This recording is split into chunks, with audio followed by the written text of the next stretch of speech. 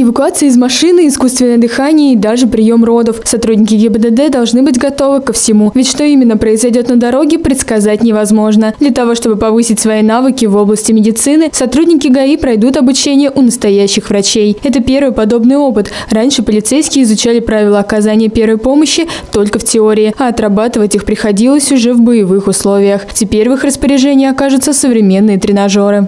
Сегодня мы пробуем провести занятия по базовой сердечно-легочной реанимации и первая помощь при обструкции верхних дыхательных путей.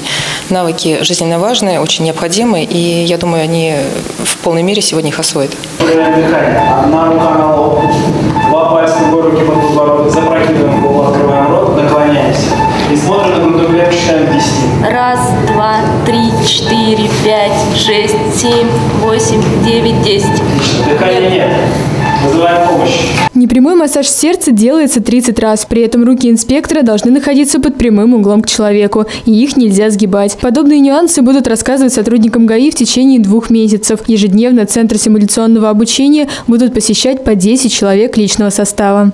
Контролировать дыхание, силу дыхания и понимать, что ты можешь в данный момент спасти жизнь человеку, это очень-очень вдохновляет.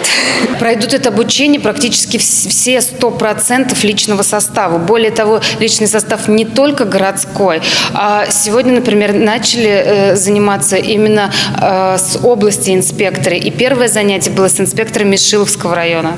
Занятие рассчитано на три часа. За это время сотрудники ГИБДД должны освоить теорию и практику, а также сдать небольшой зачет. Ведь чтобы не растеряться в реальной ситуации, где от скорости и от точности действий зависит жизнь человека, нужно точно усвоить простые алгоритмы.